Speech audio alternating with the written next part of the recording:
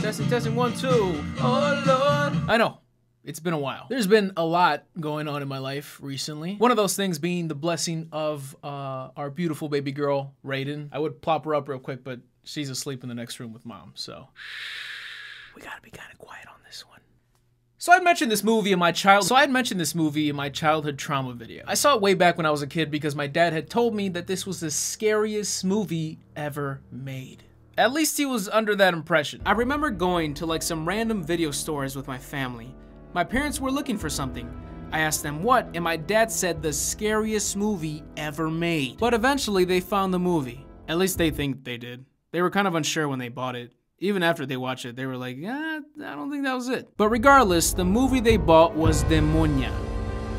And eventually we all watched the movie together as a family. And we have not stopped making fun of that movie to this day. Demonia is a 1990 horror film directed by Lucio Fulci. If I'm saying his name wrong, I'm sorry. Anyway, I'm assuming this is gonna be one of my quicker movie reviews, even though I'm usually wrong when I predict that, but that's my guess because half of this movie is just so damn uninteresting. But trust me when I say this that this is a film that needs to be talked about. Demonia is a 1990 supernatural thriller about a group of archaeologists in Sicily. Come on, hear me out.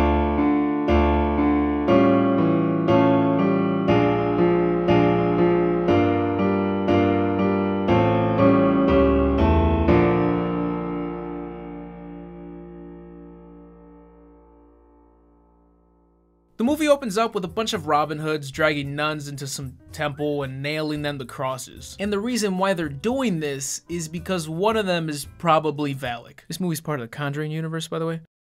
Honestly, I'm not even that far off. They're supposed to be demonic nuns. And I get why the townspeople are pissed. You know, they wouldn't want these devil worshippers with question marks at their local supermarket. It's just distracting, especially for Italians.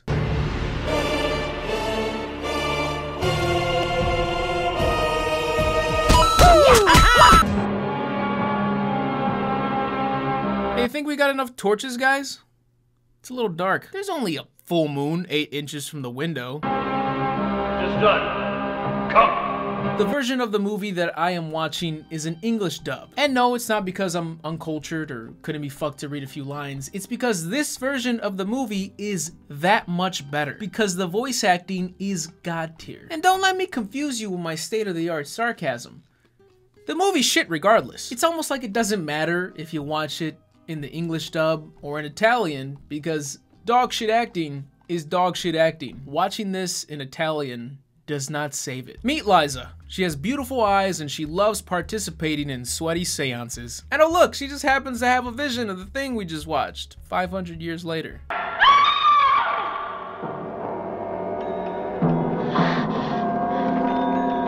Holy shit, we need a doctor stat. I think I heard her skull crack. She might be paralyzed. Is anybody gonna do shit? or she's fine. Maybe they're not worried considering you hit the ground like my husky does when she wants to sleep. What happened? How did I get here? You fainted. I brought you home. You. I mean, sure, you performed CPR and prevented her lungs from filling with blood, but Ew. you're fucking gross. This is her archaeology professor, Paul. And this scene just spells the movie out for you through dialogue in the least subtle way. Also, I don't even want to bother asking how he even got her. Did one of these nut jobs decide her emergency contact was a random guy who studies artifacts? Not the paramedics. He also insinuates he's in her house because he then tells her to get ready for the trip and then he leaves. I'll pick you up. You just thought that was cool to bring her back to her house, tuck her in, and change her into her PJs? Not to mention, he doesn't even seem like a nice guy because he ends up just talking shit to her, telling her to cut the shit with the seances. This guy's raising more question marks than the angry townspeople. Bars. Beautiful Sicily, where this group of archaeologists have come to study ancient Greek culture.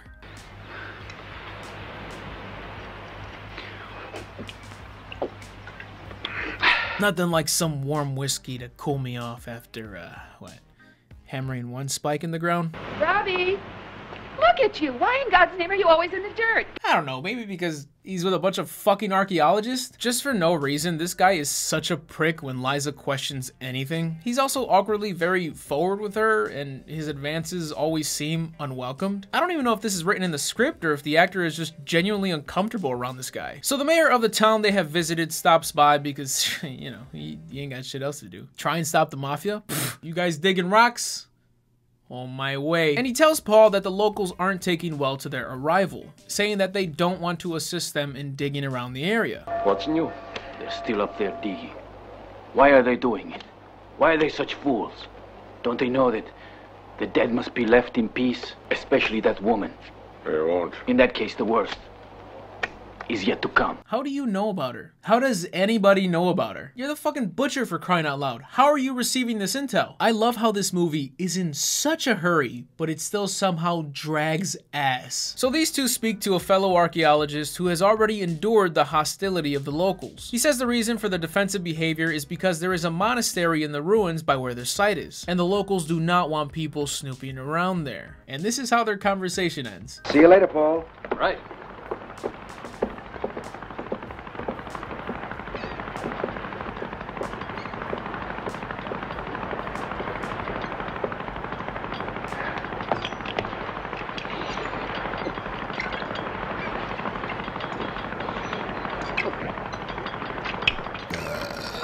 Town just filled with alcoholics? Is that the secret in the monastery? It's just a big detox center. So adventurous little Liza, after just hearing that they don't want people fucking around with the monastery, goes to fuck with the monastery.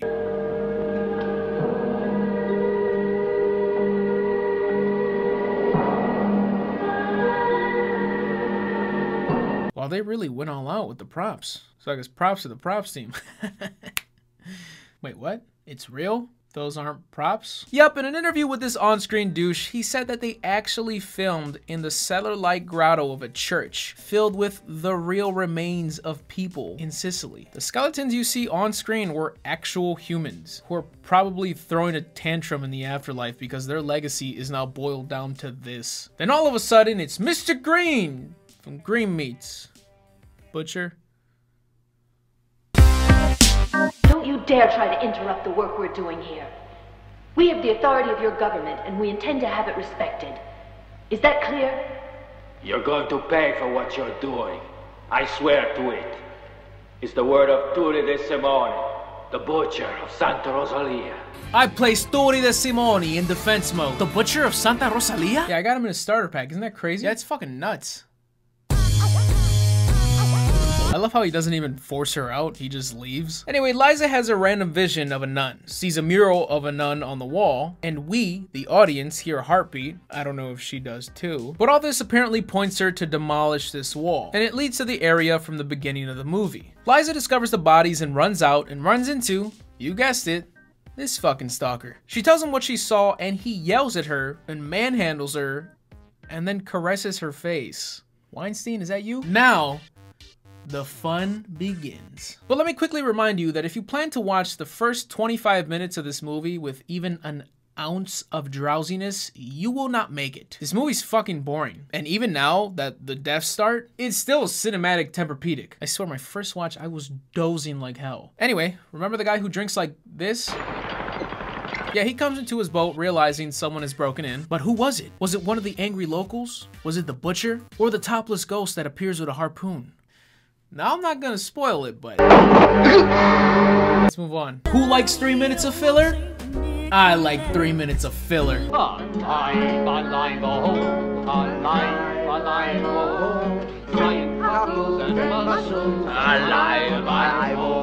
This is the only thing of worth in that time span. Are so pretty, was there at Christmas, sweet Molly?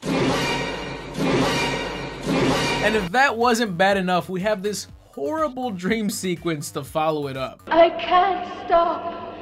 I must go. Please, Paul. I must. Let me go. No! Liza then watches the nuns suffer in real time, which is like the third time we've seen this scene. She goes into town looking for records and everybody's dubbed lines terribly match up in length with the original lines, so All the deliveries are just awkward as balls. Excuse me, miss. Behind the church, there is a sign on the door. Thank you so much. you can't much. miss it.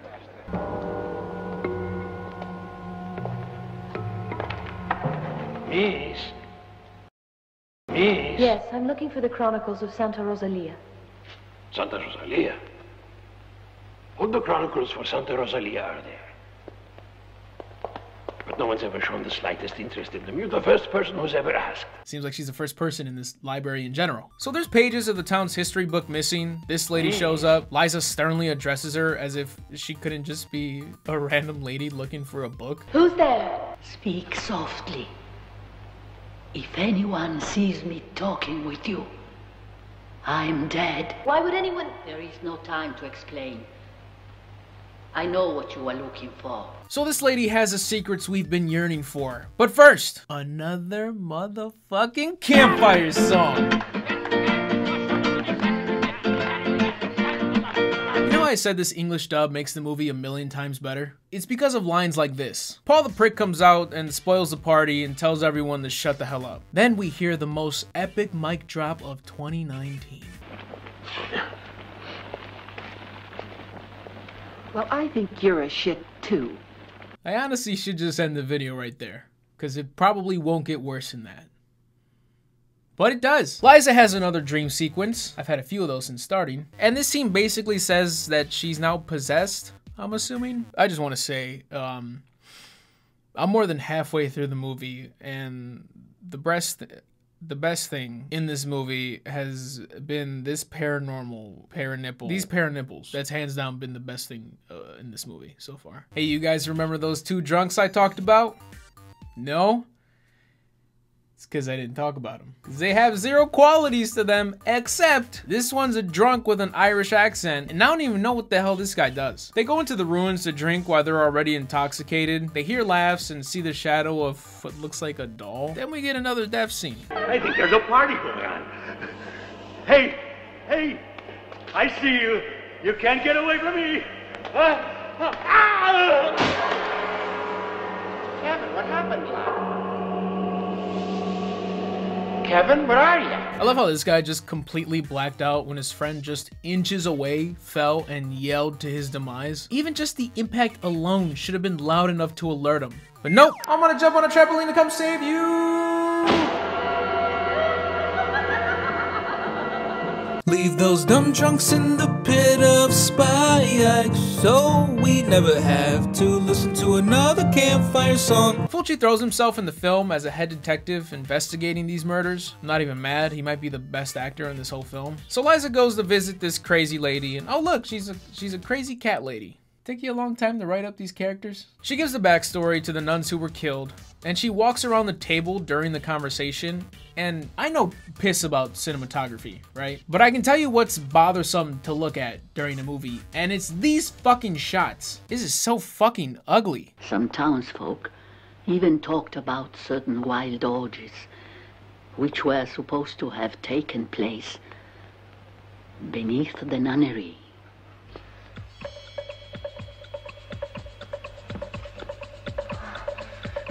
No, the soundtrack is great. Tremendous. Turn it up a little bit in my headphones. Ah! it's orgy time. Anyway, this guy's getting deep throated, then she returns the favor. Then they show one of the nuns having a kid from getting preggers, and then they burn the kid. Oh my gosh! It's, uh, it's, it's ashes. It's ashes. I hate this actor. I hate this actor. Her face is not in focus. This looks like a home movie. Nobody cares. Ugh.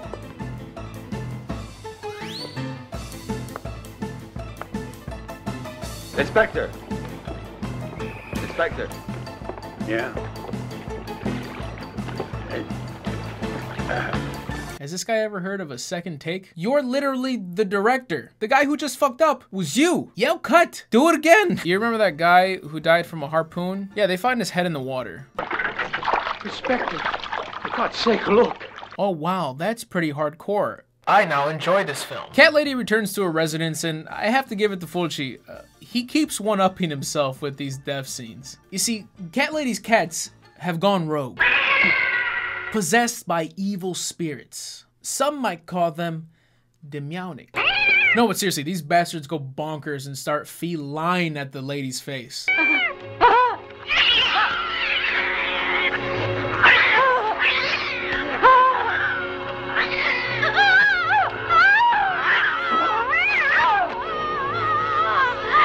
This makeup's really good. It looks genuinely terrifying.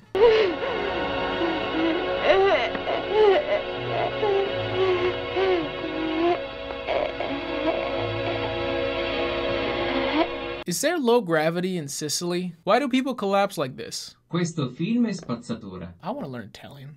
Buongiorno, me chiamo Gigi. Vaffanculo. Fulci talks to the local butcher, only to set up a foreshadow. I've got my own neck to look out for. Here's the steak. Good day, Inspector Carter. Good day, Turi.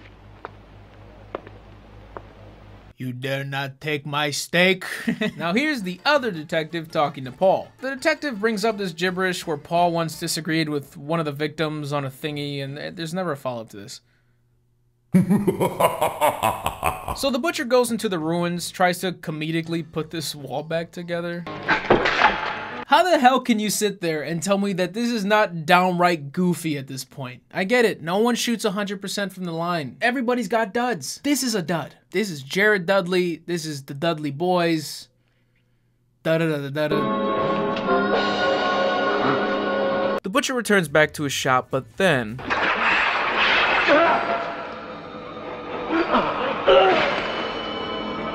Remember that foreshadow I was talking about? There are people who deserve that kind of treatment. I'd hold my tongue if I were you. Tongues can wound people badly, but I can't kill them. I've got my own neck to look out for. I'd hold my tongue if I were you. Tongues can wound people badly, but I can't kill them. Fulci shows up to the butcher shop where they tell him that the butcher is missing. All these cops on the scene and not one has bothered to check the freezer. Really? No one here has ever watched Goodfellas?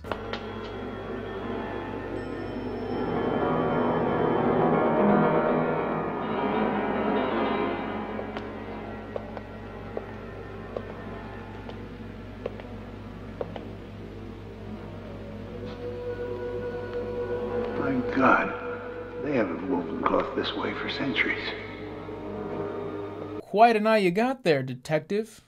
Did you also notice the dead body? Because that didn't seem to interest you at all. Sir, the townspeople are angry and they're coming this way with weapons to destroy the monastery. Okay, let's calmly evacuate. Then, for absolutely no reason whatsoever, literally none, Robbie goes missing. Remember Robbie? The kid who likes to play in dirt and ironically is about to be six feet under? Let me tell you this if there was one scene I remembered from this movie, it is this scene. Robbie!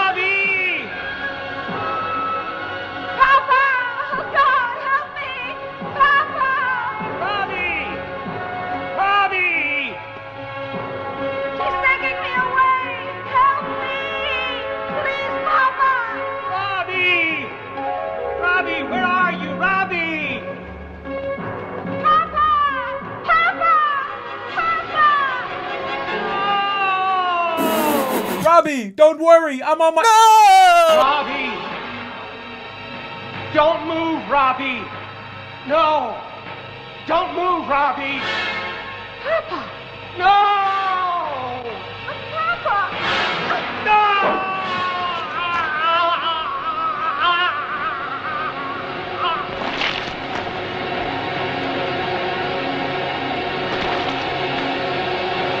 You know that little shit never did listen. No! Some fucking idiot at my apartments has like a mini windmill on his porch, which needs fucking a gallon of WD 40 at this point because it just squeaks every fucking time there's wind. Paul, being Paul, has to find Liza before they leave. So he runs up to the ruins and sees a ghost nun, so he approaches with caution. Robbie's mom is unpacking, hears the evil nun laugh, and.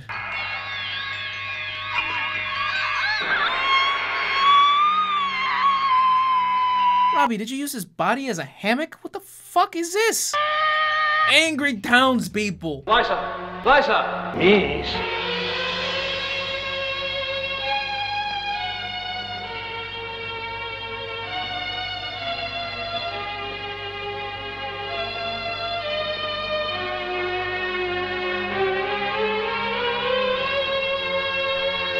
I'm sorry. Why does it seem like she was all the way in Pittsburgh, but when she turned around, she was in stabbing distance? Also, well deserved, you ass crack. Oh yeah, this was Liza, by the way. She's possessed, like I said, I think, while simultaneously vomiting. Then she gets hung up on the cross somehow. And the townspeople burn all the bodies again, including her. And their fucking dubs are hilarious through this scene. What's going on? What's going on? I don't like, I don't like the looks of this. What's going on? What do you mean? You set a bunch of corpses on fire in an enclosed dust tornado, you morons. This movie should end with a kaboom, but it doesn't, sadly. Paul is alive, and he's here to save Liza. She's no longer possessed, don't worry. She probably just fainted like last time. I don't get it, and I never will. You suck. So the director of this film, Lucio Fulci, coined the godfather of gore, is an icon to lovers of horror and gore. And I'm sorry, but that still doesn't change the fact that this movie sucks. In an effort to not piss off the Fulci nation, uh, I read up on some blogs. Fulci obviously has a massive filmography. It shows you all of them on the little sheet in the Demonia DVD. But I wanted to see how his other films compared to this one. I saw that this was one of his much later films. I read a few different pages, and I saw that the movie Zombie was pretty high up in everybody's list. So I bought it and watched it. And it was miles ahead of Demonia. It's still no masterpiece. You're not gonna feed me that crap because he's an icon and because it's an old movie. There's plenty of shit wrong with that movie, but I was way more into it than I was into this fucking thing. Basically, if you're into this type of shit, you're into it. You'll love it and you probably hate my opinion. That's okay. I read up a little on Demonia 2 and it seems like people either love or hate it. But you're most likely a Fulci fan if you even give a rat's ass about it. If you enjoy the creepy atmosphere and the death scenes, that's totally cool. If you think that saves the movie, that's not cool. No disrespect intended to the director. I'm sure if I watched more of his classic films, I would probably be more impressed. But this movie is a hunk of shit. And honestly, I wouldn't want to have it any other way. If you enjoyed this video, please leave a like. It is the easiest way to support me. Subscribe because I have more content coming your way. Also, I know this is fucking random, but I now have a supporter creator code in Fortnite. So if you still play Fortnite and you spend money on things you probably shouldn't, use my creator code Mista-GG. Come on, Ninja has like six Ferraris. He doesn't need it. And also shout out to CC Lena for uh, retweeting my last video tweet. As always, I am Mista GG, and I am out. Leave those dumb drunks in the pit of spike so we never have to listen to another campfire song. I'm happy that this movie sucks so much. I'm happy I could make this review. I know it may sound silly, but this movie being such a meme with my family, especially with my pops, it brings me great joy to shit all over this film. I've been gone for a month, and aside from the fact that obviously we were blessed with a beautiful baby girl, um, on the same morning that our baby was born, I was at the hospital saying goodbye to my pops. That's why I've been away for the, for this long. And that's why I wanted to make this video. I'm sure he would have loved to hear me crap all over this film. This one's dedicated to you, Pop.